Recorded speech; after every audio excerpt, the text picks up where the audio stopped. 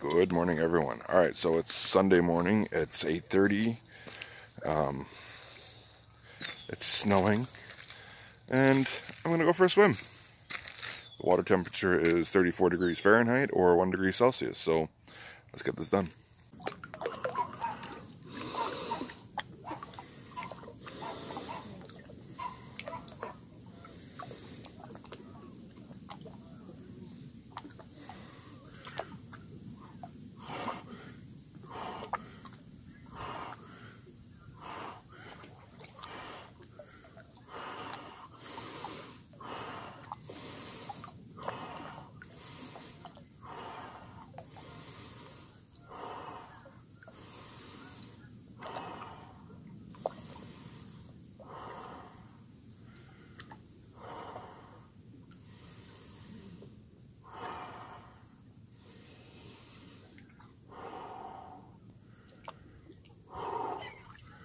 Okay, that's good.